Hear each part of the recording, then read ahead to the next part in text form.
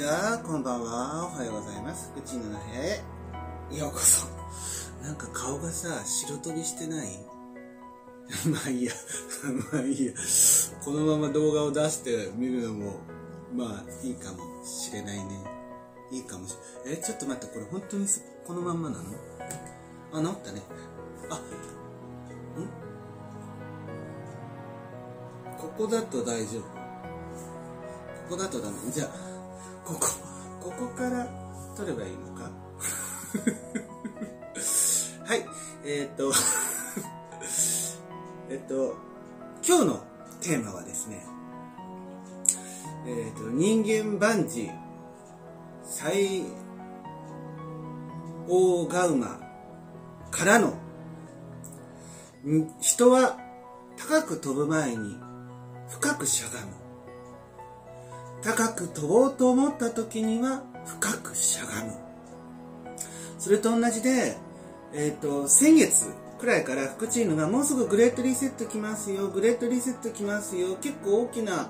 人生の転換期で結構大変なことありますけれども、えー、人間万事最後、最大ガウマと言われているように一見その時悪いこと、悲惨なことが起こったとしても、えー、数年後にはあれがあったから今の私がある。あれが飛躍のきっかけだったって思うような出来事が必ず必ずあると思うという形でであのー、もう本当このあのグレートリセット期間ですよっていう間に私の周りでも急に仕事がなくなっちゃいました。かあのコロナコロちゃんにかかっちゃいましたとか。もう本当いろいろありまして。で福チーヌもあのそういうのを遠目に見ながら自分いやグレートリセット来ないのかなと思ったら結構大きいのが来まして。でその大きいのがどっか遠くに行ったなと思ったらあいいよ反転したなっいいよ反転したな。これから上向くなって思ったら本当に上向いてきたのでその話をしたと思います。まああの土曜期間っていうあの36年に一度の土曜ということと、えっと、天皇制とドラゴンヘッドと火星のコンジャクションという形があって相当大きな変革が皆さんに訪れますよ。でそれがグレートリセットになりますよっていうのをえほぼほぼ1ヶ月くらい前から皆さんにお伝えしてきたんですね。で皆さんもいろいろあったと思います。で福チームに起こったことはというと母がもともとは杖をつきながらなつきながらならえっ、とトイレまで普通だったら30秒から50メートルもないので、10メートルに、え？え車1台が5メートルだとすると、15メートルくらいしかない距離なので、普通だったら、えっ、ー、と、30、あの、30秒で行ける。福尻だったら30秒まで行けるトイレまでの距離を、あの、母は杖をつきながら3分くらいで行けたのね。でも、一度転んでしまって、で、普通転んでも、1週間か2週間で治るんだけど1ヶ月経ってもなかなか治らなくてでもうほんとトイレ行くのに10分くらい「いででいでで」って言ってあちこち捕まえながらやっと行けるっていう状態。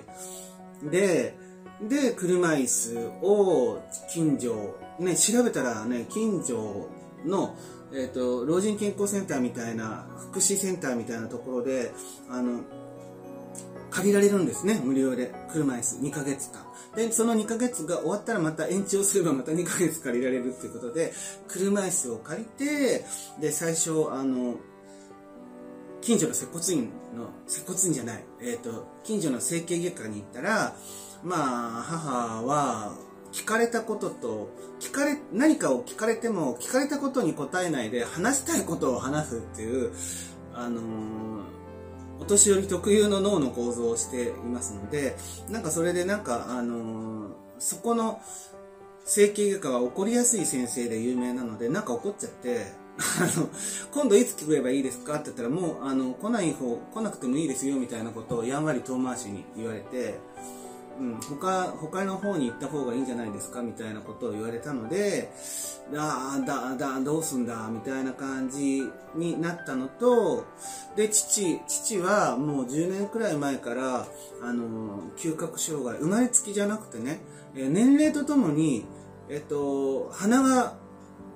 五感の中の鼻が全く効かなくなる人って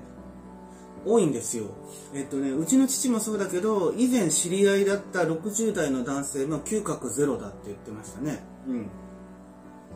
年齢とともに嗅覚がなくなっちゃうんですって。あの、若い頃からずっと鼻うがいしてれば、鼻の奥が乾、カラッカラに乾いて嗅覚の受容器がダメになることはないんですけども、あの、鼻うがいとかしないでいると、なんかダメになっちゃうらしいですね。で、あの、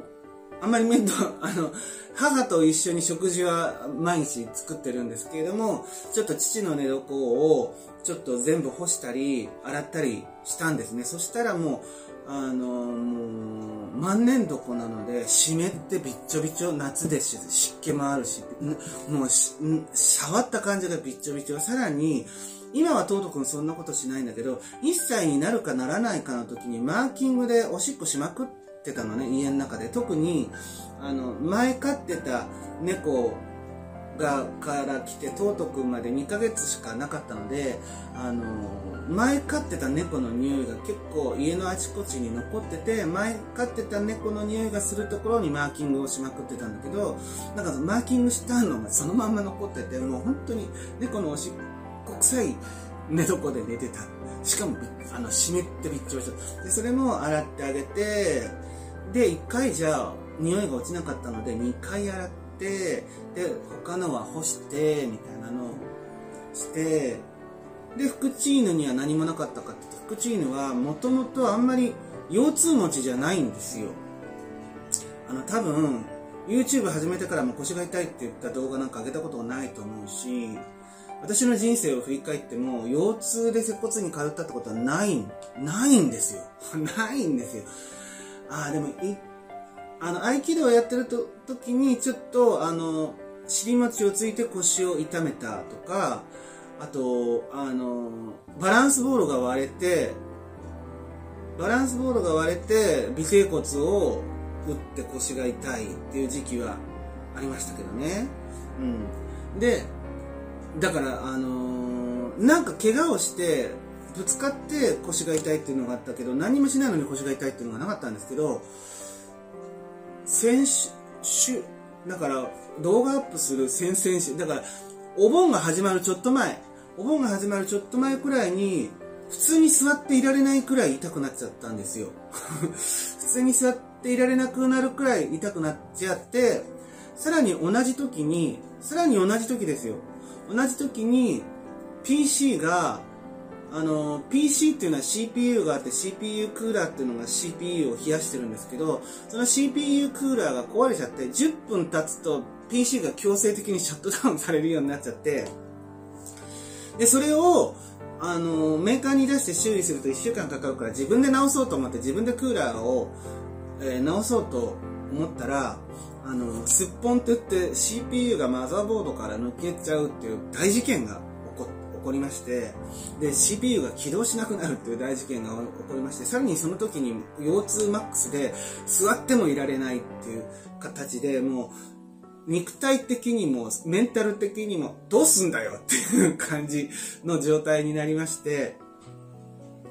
でそれも結局なんかその時に行ったあの近所の 近所の家から一番近い、えっ、ー、と家の周りの接骨院いっぱい行ってたんだけど一番近いところだけは行ってなくてその一番と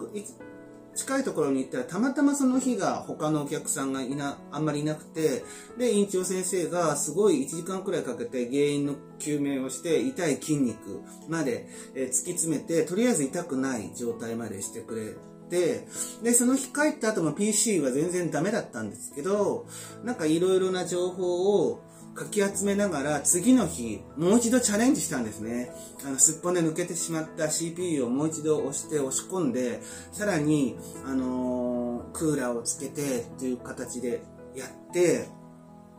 て言ったら CPU も復活したんですよ。でやっぱりあの今までの動画で言ってると思うんですけども日常の当たり前って日常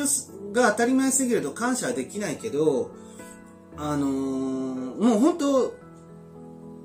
座ってられないほど腰が痛いっていう状態にまでなっちゃうとこうやって普通に座ってられるだけでも感謝だしあの、福チームなんかもうあの、仕事のやりとりほぼほぼ PC だし、YouTube の編集も PC だし、PC がもうお釈迦になっちゃうと何もできなくなっちゃうんですよ。何もできなくなっちゃうんで、あの、ズームの授業さえもできなくなっちゃう。あの、そんな感じで、PC が起動するっていう、ただそれだけのことにもすっごい感謝。で、やっぱり、あの、やっぱり配信者として日常の当たり前に、が当たり前すぎて感謝できなくなってる人いるけど、ちゃんと感謝しなくちゃダメだよって言ってるけど、まあ本当、福チーヌはね、あの、感謝してなかったな、普通に座れるってことに感謝してなかったなっていうのと、あの普通に PC が起動するってことにも感謝してなかった。あとね、母も、あの、私が行ってよかったので、その、接骨院に連れて行ったんですけれども、えっ、と、まあ、まあ、本人はそんなに変わらないって言ってるんですけど、旗から見ると、歩くたびに痛い痛いって言わなくなったのと、ちょっと鬱っぽい状態だったのが、気分が明るくなって美容院に行きたいって言い出したりしたので、あの、毎回行くたびにお灸してもらうんですけど、お灸が、あの、気分を上げてくれるんじゃないかなっていう感じはしました。っていう感じで、うん。で、その、家族の中のグレートリセットですよ。母が歩けなくなり、父の寝床も大変だったの。で、福チーヌは福チーヌで、もう腰がダメになり、何もできないくらい座ってもいられない状態で、さらに座って作業をしなければいけない PC での YouTube の編集とか、あの YouTube のなんなんちょかとか、あとメールの返信とか Zoom の授業さえもできない状態になったところからの復活をしたんですよ。復活をしたのね。そしたら、あの、知ってる人は知ってて、知らない人は知らないと思うんですけど、福知の TikTok のチャンネル持ってて、チャンネル持ってて、TikTok のアカウント持ってて、そこにも、えっ、と、3ヶ月以上、3ヶ月以上ですね、えー、毎朝、えー、毎朝、あの、言霊を下ろしていて、その中でなんか一番深いところまで落ちたので、もう陰陽反転で明るくなるよみたいなことを朝言っていて、ふーん、そうなんだ。下ろしてる本人が、ふーん、そうなんだとかって思ってたんだけど、陰陽反転になるって言われて後に、もう本当あの、商売やってる人って、日八、日八って言うじゃん。日八、日八。あの、2月と8月は、個人事業主は、あの、売り上げが落ちる、落ちるけどしょうがないよねっていうので、日八って言うんですけど、あの、特に店舗型の営業をしてる家はもう2月は人が寒くて外出ないのね。で、8月は暑くて外出ないの。で、福チーヌもなんかあの去年に比べて全体的に、えー、月収が落ちてるんですけども、8月はもう本当悲惨な状態だったんだけど、だったんだけど、だったんだけど、あのグレートリセットが、自分の中のグレートリセットが終わった途端に、えっと、おととい、が急に4件、4件新しいお申し込みがあって、昨日は3件新しいお申し込みがあったんですよ。で、今日はまだ今日が終わってないんですけど、1件あったのかな ?1 件はありましたね。確実にありましたね。他にも、今日はまだ1日あるので、お申し込みがあるかもしれないじゃないですか。そんな感じで、あの、よくさ、あの、アドバイスとして言うじゃないですか。もう、落ちた時は、もうそこでジタバタするよりは、あの、万事尽くして天命を待つ。で、特に、あの、大きな波に飲まれた時っていうのは、そこでバタバタしてしまうと、絶対ダメで、丸まってサーフィンやってる人に教わったんですけども大きな波に飲まれた時はそこでバタバタするとあの水を吸ってしまったり大変だからこう膝を抱えて丸くなってその大きな波が去るのを待ってからあの浮上したらいいよって言われてるんですけど、まあ、実際今回は皆さんそんな感じで急に仕事がなくなっちゃった人とか、コロちゃんになっちゃった人とか、もう他の形、あの物理的なね、病気になったりとか、怪我があったりとか、いろいろなグレートリセットがあった。と思うんですよ、皆さん。でもそれを乗り越えて、乗り越えると、陰陽反転。陰陽反転で、あの、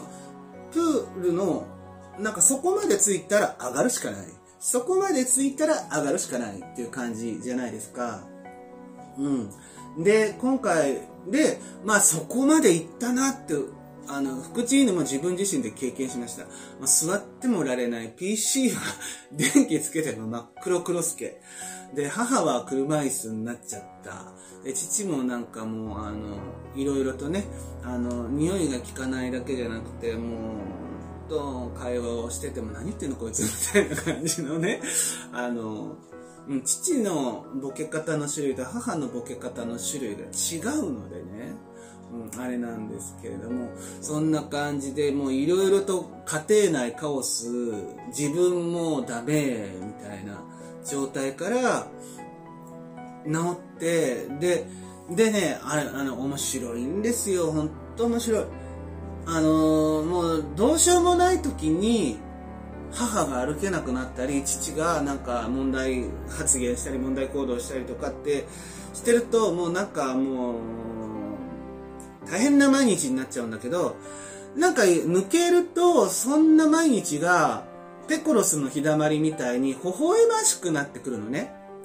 多分あと10年以上したらこのあのー、奇想天外というか、なんか、何それっていうようなことをやってくれる、最近毎日やってくれる両親？を、との思い出、うん、で、うん、いろいろと、うん、あの、思い出が、あの、いい思い出として残るんだろうなと思うと、なんか今の毎日、いろいろとね、両親との関わり合いの中から、まあ、もう10年くらい前なんですよね。10年くらい前から両親の食事は私が作ってるんですけれども、あの、